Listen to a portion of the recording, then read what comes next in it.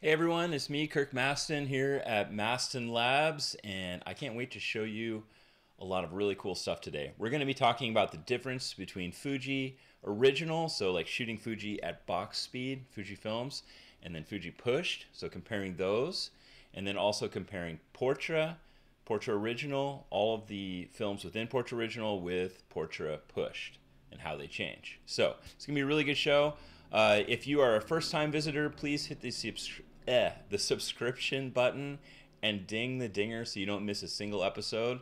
Uh, it's it's great. We do we do a show every single week, so you don't want to miss out. You can learn a ton here, and you know really become part of a great community.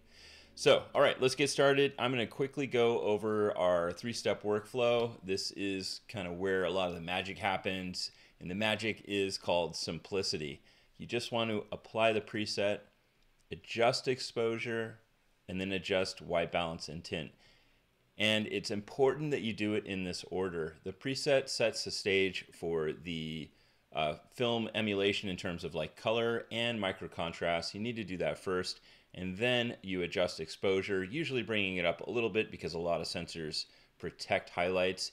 And then last but not least, and maybe most important of all, adjust your white balance and tint. Make sure it's not too warm, not too cool, not too green, and not too magenta. And then you have a beautiful photo. It's that easy. Okay, so let's kick it off. Um, we're, we're going to start with Fuji Original.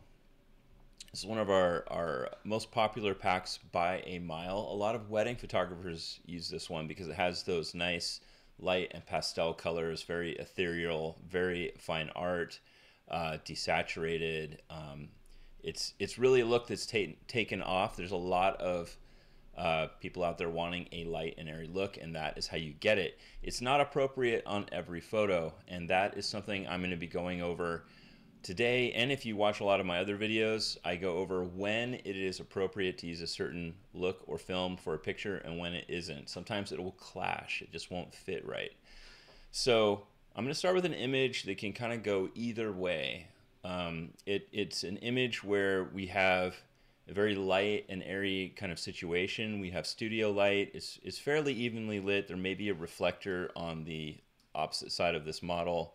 Um, I think there is because these highlights are, or these, these shadows are opened up pretty nicely and there's a little catch light in her eye here. That, that may be from the window on the other side. I'm not sure. Um, but I think there's a little reflector or something on the opposite side. Maybe this like kind of peach colored wall. There's like another panel next to her. She's wearing lighter clothing. Um, it's it's she's wearing a lot of neutrals. So anytime I say neutral, I mean something that is usually uh, white, black, or gray. However, uh, nude, rose, and brown can also be very neutral. And we're seeing all those colors here. So it's an image that's got a very light and airy palette. However, However, and this is why it's an interesting image, her expression, I think, falls clearly in the moody side. So, moody meaning mysterious. Uh, dark and moody meaning dark lighting, a mysterious look. Uh, there's a little bit of moodiness in this photo. It's not like a true dark and moody photo, like you know something like this, uh, where it's you know 100% dark and moody, moody expression, moody situation. This has got a little bit of a blend. So with an image like this, I'm going to just start out with Fuji 400H, very classic light and airy look.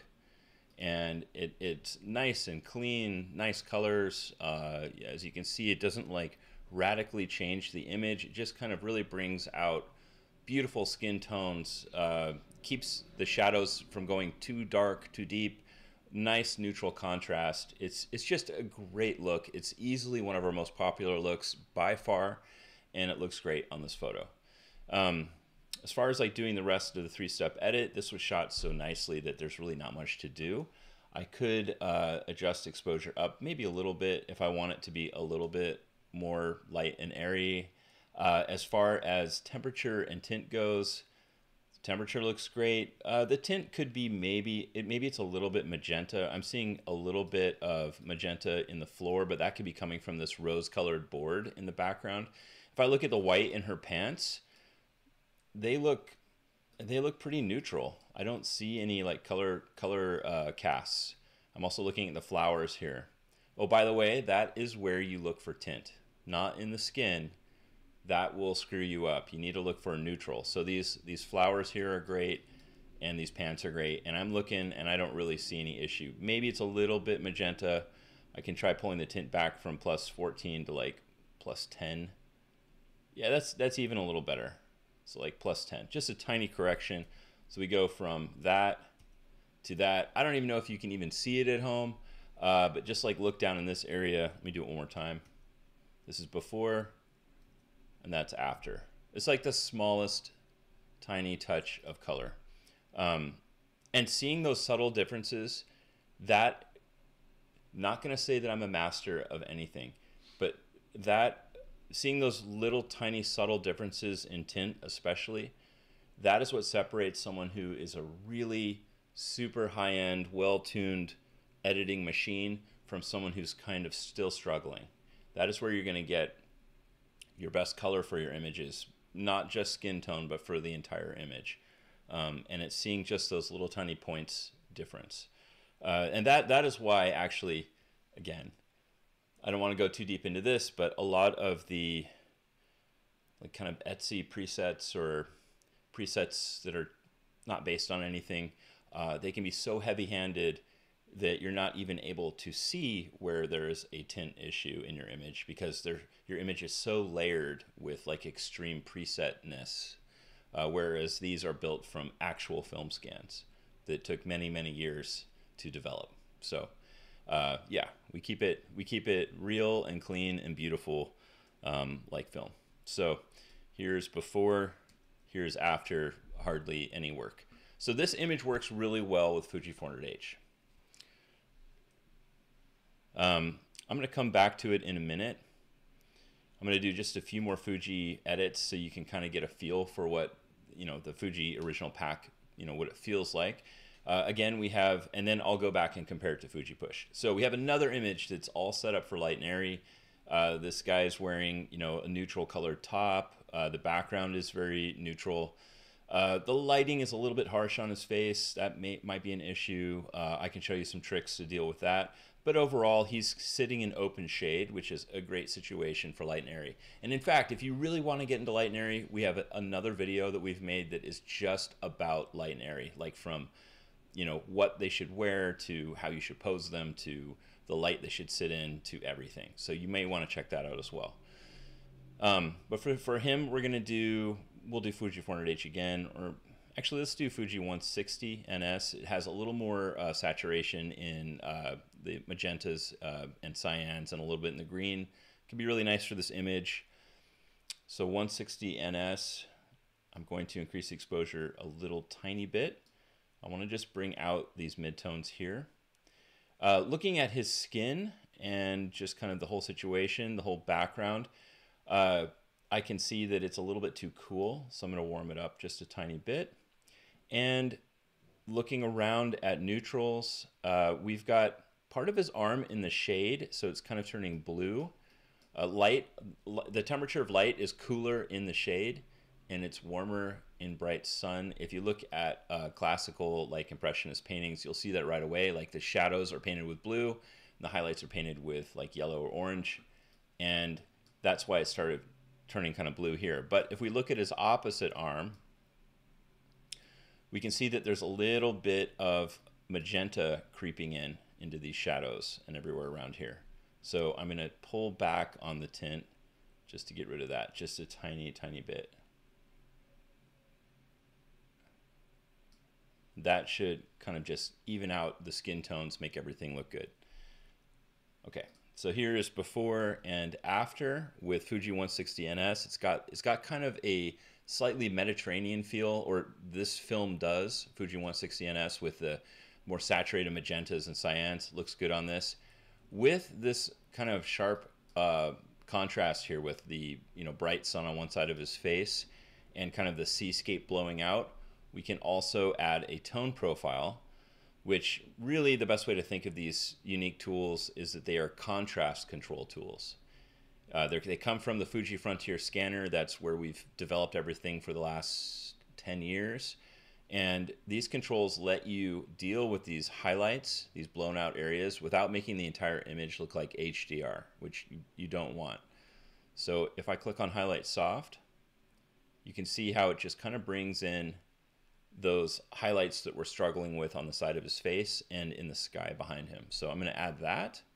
If we wanted to go even a little bit more, um, you know, even across the entire image, like bring out detail in his hair, we could have picked all soft instead to bring it out even more. But I, I don't I don't want to lose kind of these nice midtones. So I'm just gonna I'm gonna cut it off right there. That looks good.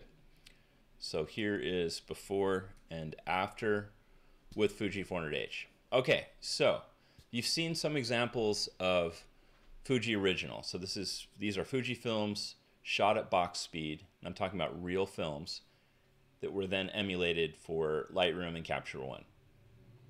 And they look good on situations where you have this kind of light and airy, uh, you know, setup to begin with. Now, if I was to go back and use Fuji Pushed, it may or may not work with these images. Fuji Original is a nice neutral clean palette. Fuji Pushed is where you take the same films, so you take 160NS or Fuji 400H or 800Z, the real film, and what you do is you increase its ISO artificially by underexposing the film and then taking it to the lab and saying, push this film one stop. And what they do is they develop it a little bit longer in the chemistry and they force the film to be a higher ISO to match what you shot it at. Now, if that is like way way too much to to like, you know, ingest in your mind, I get it and you're in luck because we have another video that's all about push film, so that can clear that up for you. But it's a way of making your film look different and stylizing it. And with Fuji Original, when you push it, any of those Fuji films, and you, you push them, they are what you would find in the Fuji Push Pack, and they're going to have more color, more punch. Uh, they're going to be very joyful, uh, very saturated. And the highlights are going to shift to pink. That is what happens with Fuji films when you push them. Completely different story with Portra films, any of the Kodak films when you push them. The highlights do not turn pink. In fact, the shadows turn kind of red, and it's a totally different vibe than pushing Fuji films. So, back to Fuji pushed. Same image. If I go to Fuji pushed, and this was edited with 400H, say if I edit it with 400H push two stops, watch how different it looks because the film was pushed and developed as push film. So here is Fuji 400H push two stops. And you can see those shifts in the highlights and midtones in particular towards a peachy pink look. And it's a really, it's, it, uh, to be honest, it's a fantastic look for a lot of different kinds of wedding photography or engagement photography when you want a kind of I don't know fantastical light and airy look. Like light and airy but not so serious. Like light and airy but make it springtime um, that is what it feels like to me and it, and it can look really good if this is a little bit too much pink for you you can dial it back by going to like 400h push one stop and you have just you know whoops you can see that it adds it just a little bit instead of like so much so you're not pushing the film two stops, you're pushing it one. So it's not such an extreme change at the lab, putting it in the chemistry. Okay, the other thing that I hope you noticed is how much different the contrast is. So before Fuji 400H, this is this is just 400H box speed, right? That is pushed one stop, and the contrast just makes it pop. And it's a different feeling. I find that this that the looks in Fujicolor Push are especially good for images that have a lot of joy or life or movement in them. Um, I think it works pretty well with this image. Her expression is still kind of mysterious. If she was just like, I don't know, jumping off the floor, like laughing or something, it would just be like perfect.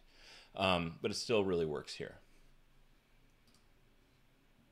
If we go to this guy here and go to uh, Fuji Pushed, so you can also see kind of similar changes. So this is 160 NS, okay? Here is 160 NS pushed one stop. Now you see the the pink and peachy kind of colors kind of you know come in from all sides. Uh, the skin tones change quite a bit. Um, I'll, I'll roll off and on so you can see it a little bit better. But this is box speed, 160NS, and this is pushing it. So if I was out shooting real film and I had my Fuji 160NS, fantastic film, I could either shoot it at 160 or actually I'd probably shoot it at ISO 100. That's a whole nother thing to talk about there, like the real speed of film. But I would shoot it at 100 and it would look like that. Just nice and even, great. Now, if I was to take the same film and shoot it at like 320, so I'd set my meter in my camera and shoot it at 320, I would technically be underexposing that film. But, but, and it's a big but, I would go into the lab and tell them what I did, and we would be like, yes, let's push it one stop. Let's transform this film into a higher ISO film by letting it cook in the chemistry a little longer, and then you would get this. You get this look. I hope that makes sense. If you're watching this and you have any questions, please let me know and I will answer them for you. This is a lot to take in, and I've been shooting film for I'm 43. I've been shooting it since I was 20. So that's tw 23 years. So if I go too fast on something or, you know, assume you know something that seems complicated, stop me and let me know. That is called the curse of knowledge. Look it up. It's a very bad thing uh, where you know too much and then you you forget like how to teach the thing. Anyway, um, all right, enough. Okay, I see you guys falling asleep. Don't do that here we go. So that that's kind of where Fuji and Fuji Push kind of meet and how they change. Let's scoot on over now to Portra. So Portra, the Portra original pack. Let's go over to. Let's go over here actually. Let's go to Portra original, and we're going to start talking about that. So Portra original is a pack that we make that has three fantastic Portra films. If you are getting into film photography, I highly recommend starting with Portra 400. It is the raw file of film. It's very hard to screw it up. You could shoot it underexposed and still get a pretty good result. And I can't say that about any other film. Most films you want to make sure that you overexpose. If, if in doubt, overexpose. That is the golden rule. Except for slide film, and no one shoots slide film, so don't worry about it. Um, slide film, I don't know. Yeah, it's okay. Okay, so this has got Portra 160, Portra 400, Portra 800. It's a great all-around pack. It is in in it's very similar to Fuji original in the sense that it's a very good baseline, everyday use. Like it's a good starting point for a lot of stuff. So let's start with it. Uh, I find Portra is good for kind of real life images. Uh, they don't have to be particularly joyful. They can just be real slices of life and you just want a nice neutral starting point. So here is Portra 400. Going to increase the exposure just a little bit. And then going through the three-step workflow, I'm going to warm it up. Uh, Portra films should be edited or Portra presets when you use them based off Portra, based off of Portra films. When you use any kind of Portra emulation, Portra 160, 400, 800, you want to edit a little bit on the warm side. That is where that film, the real film, natively sits when you scan it. It's a warm film. Fuji films are natively cool. They, they're very kind of blue, but Portra films are warm. So you can see I immediately warmed it up, and now it feels right. All the colors are kind of locking into place. Is there a tint issue? I don't know. Let's look. It's hard to tell by skin tone. They have different kinds of skin. I'm not even going to look there. I'm going to look at neutrals. Where do I find neutrals? I find it in this sweater. I find it in this pillow. That's where I'm going to look. Uh, looking at it, I and maybe this back wall, although I don't I don't trust that that is a neutral color. I don't know. But looking right here, it, frankly, it looks pretty neutral. You don't have to adjust every photo.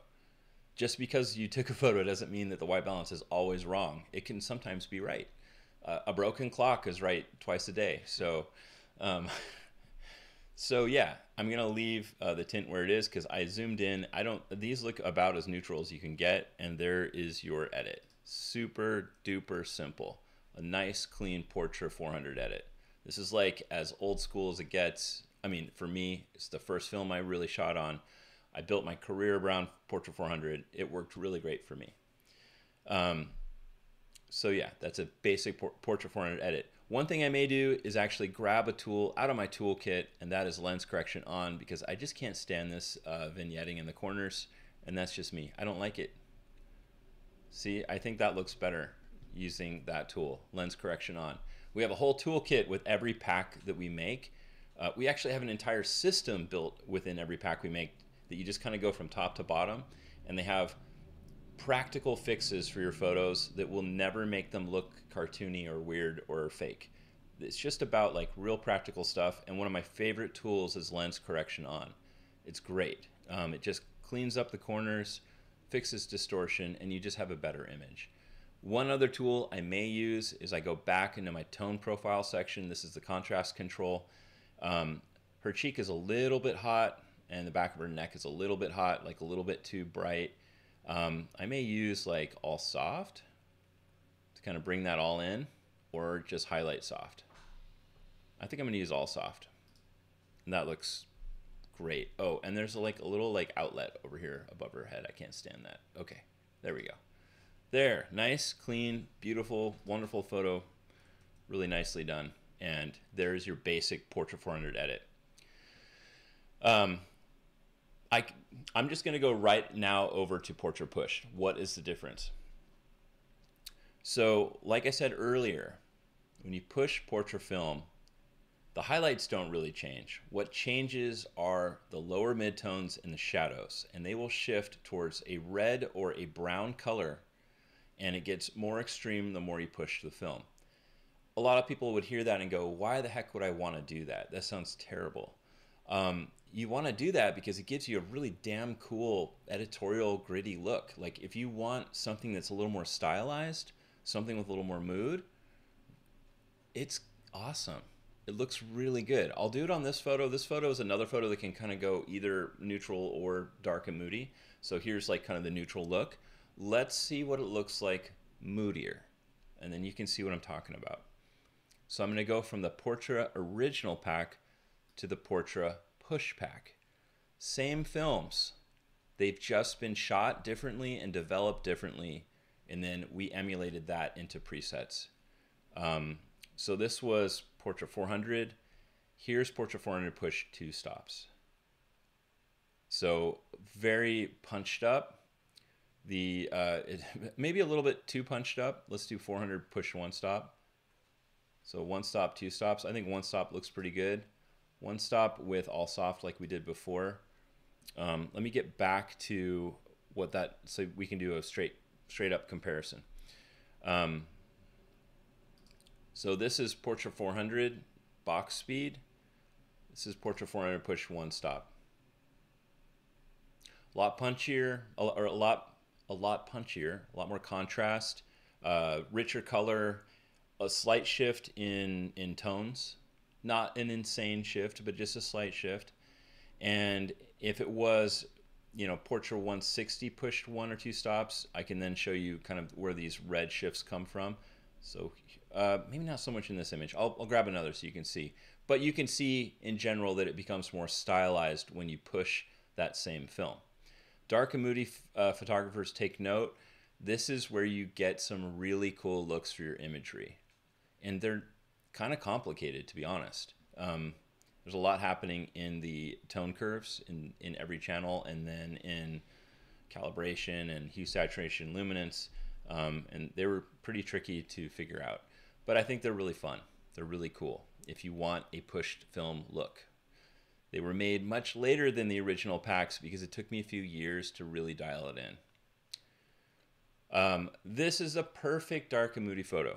This is like if you just made a dark and moody wish, uh, you know, you've got a mysterious look. You have someone who may or may not be clothed in soft light in a like a cool kind of vintagey room with these kind of fall wintry looking flowers.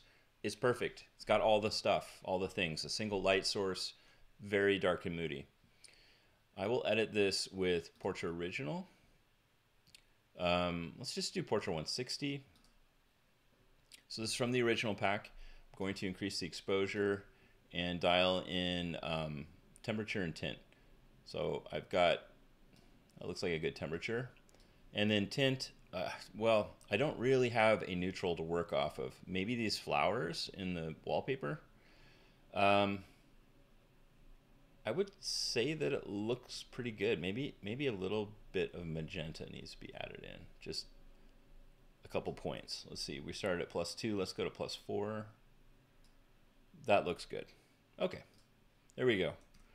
Portra 160, nice, clean, kind of desaturated look. Uh, Portra 160 has the least saturation of all three Portra films. That's just what it what it do. It is a film built for portraits. Um, actually, all the Portra films are. That's why they're called Portra. I know, crazy, right? Uh, actually, great branding. So, this is not a bad look. This looks really good. However, if we wanted to go moodier, let me just create a copy of it. Let's go to the same film, but push it two stops. Um, in fact, that's such a change. I'm, I'm going to uh, decrease the temperature a bit here, get it back in the realm of what I envisioned. And as far as tint goes, I think we'll go like right about here. Bring down the uh, exposure just a tiny bit. Um, deep, deep shadows. You can see the red kind of creeping in to everything. Uh, if, if I was to just not do uh, two stops, like instead of doing Portra 160 push two stops and, did, and do one instead, we can kind of subtract that red out. This might be a better way to actually see it. So this is Portra 160 pushed one stop. Here it is uh, not pushed at all. Let's make the, the white balance more similar. I'm going to survey these uh, or compare them. So Portra 160 on the left, Portra, six, Portra 160 pushed one stop on the right. And now, what I'm going to do, come on, unfreeze.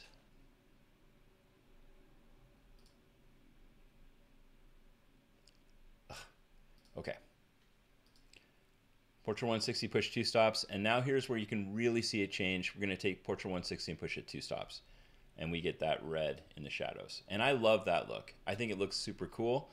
Um, it just feels just moody as you can get. Um, one thing to note, I'm going to take a tiny little detour here. When you're editing something light and airy like this, or like this, one huge advantage for all those light and airy photographers out there, and they don't they don't realize like what a great hand they've been dealt. is that you don't really have to do much skin retouching.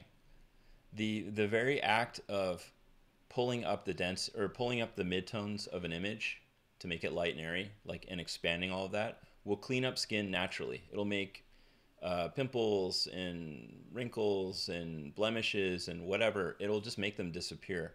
It's a trick that light and airy people, photographers, have been doing way before digital, uh, just with how they overexpose their film and then kind of push that up um, at the lab. So when they're doing the scan, make it light and airy and they'd push it up, right?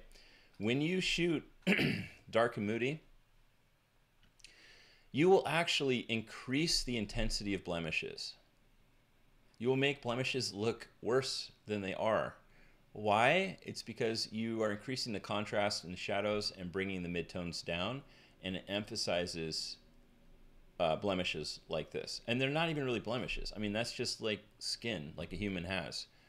But it's brought out more. So it's very important to learn how to deal with that, how to do very delicate and natural looking skin retouching. And we will go into that in a future video. We'll go all into skin retouching uh, for those that don't want to spend all day doing it, but just like do a good job and do it quickly. And it's a very important skill to learn if you're a dark and moody photographer. And if you are a dark and moody photographer listening to me right now, you're probably shaking your head because you spend a lot of time doing basic skin retouching. So you would, you know, you would be in here doing all this stuff. Um, anyway, I just wanted to point that out because that is a different experience for the two kind of camps or two possible camps of photography. Okay, let's do one more comparison for Portra versus Portra Pushed so you get a little better sense of the differences.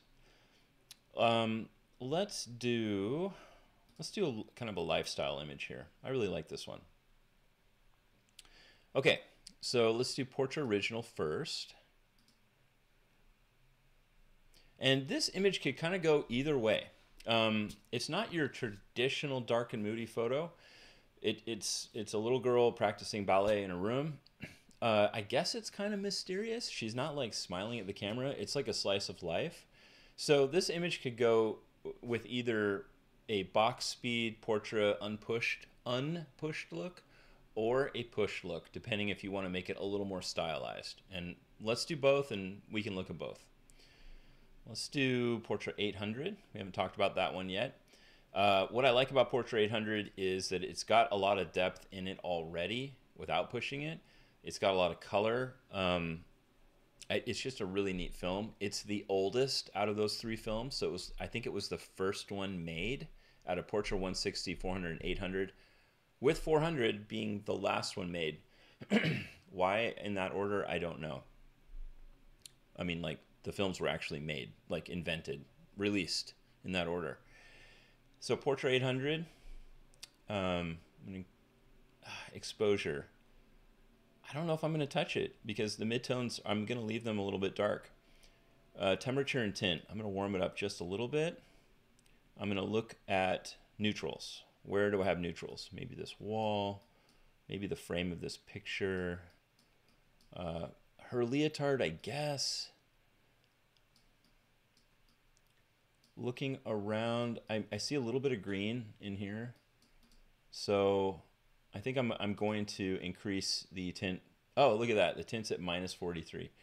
Not that that's right or wrong, but it's just pretty extremely towards green. I'm going to just raise this up just a little bit.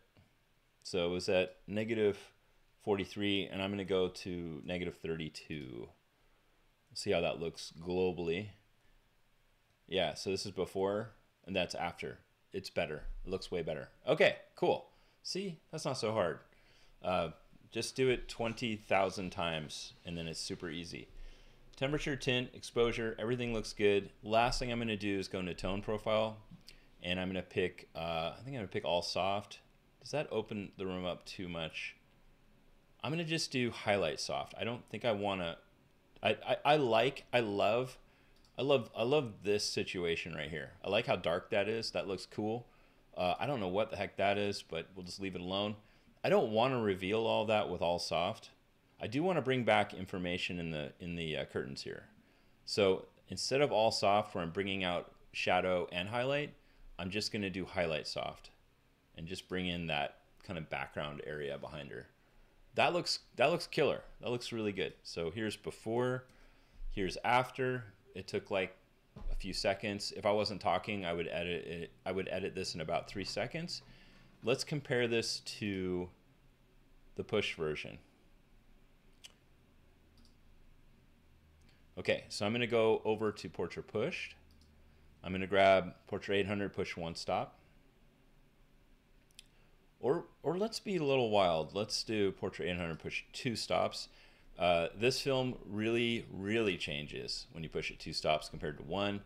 Uh, I don't know if you can see it at home or not, uh, but you get you get this kind of like almost split tone between green and purple.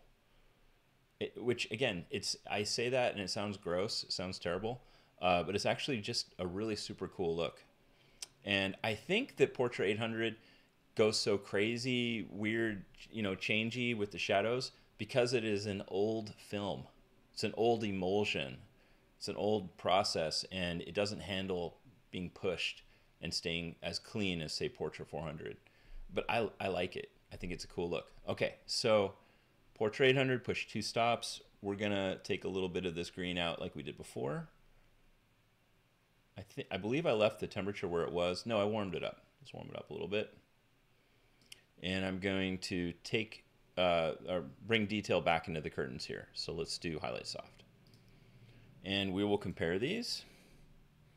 And you can get a sense of like what, what you like. Let me minimize all this junk so you can see it. Boop. Okay. Come on, render. Okay, so these got a little bit flipped around.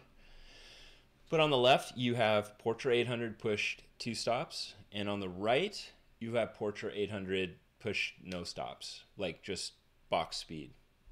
They're edited pretty much the same way. I, I didn't look exactly at the temperature and tint, uh, but they're both, you know, in the same ballpark. I also used uh, Highlight Soft to bring back the curtains. And I think for this photo, I I think I like the more stylized look of Portra 800 push two stops. In particular, and I know this is like such a weird thing to like be excited about. Uh, I like how the shadows and everything are being handled in the pushed side. So in the unpushed side over here on the right, everything is very neutral. It's it's just like straight up reality pretty much. On the left, when you push it, I just I just love the tonality like through here, like behind this plant, and just kind of the red and warm tones that you're seeing in the shadows. And you can see that all the way across the image, even in her skin, uh, everywhere. It's just really cool. Even this like bench, you know, we're starting to see a little bit of color in the shadow area. And I dig it. So I don't know about you, like what you prefer. Uh, you can let me know in the comments, like which you prefer, pushed, not pushed, Portra Push, Portra Original, or Fuji Original or Fuji Push. Very different applications between the two. But yeah, I hope that helped answer some of your questions about what the difference is between pushed and unpushed films and how they look, and in particular, the four packs that we make here at Mastin Labs. Fuji Original, one of our all-time bestsellers. Fuji Pushed, which is fantastic for like more exciting like engagement photography, things with a lot of color. And then you've got Portra for like everyday moments, like reality, nostalgia, at home. And then Portra Push, which is for the dark and moody fans out there, boudoir, fashion, uh, just just a mysterious feeling in general. Yeah, Portra Pushed. So, okay, that that is what I have to say. Um, I hope you really enjoyed this. Uh, if you haven't already, please subscribe to our channel and like this video. It means a lot to us. And it'll also make sure that you don't miss out on any of our future ones. We do these every single week, and we have a huge back catalog of videos. If you want to learn more about anything in particular about editing, dark and moody, light and airy, boudoir, wedding, engagement, street photography, everything. So don't miss out. Uh, we also have an amazing Facebook community where we encourage people to learn and grow together, and you can get to it right here on Facebook. So just search Mastin Labs Community. It's a fantastic group, and you can even drop in your images in that group and ask for an edit with any product that we make, and you can see what your image looks like with Mastin Labs, and hopefully you can change your editing life with a simpler, faster workflow based on the timeless look of real film that we've been developing since 2012. It wasn't an easy journey, but we want to share these tools with you. Uh, you can also reach us directly at m.me forward slash Mastin Labs if you want to slide into our DMs, and we are happy to answer any questions you have. So, until next time, I hope you have a great day and happy editing.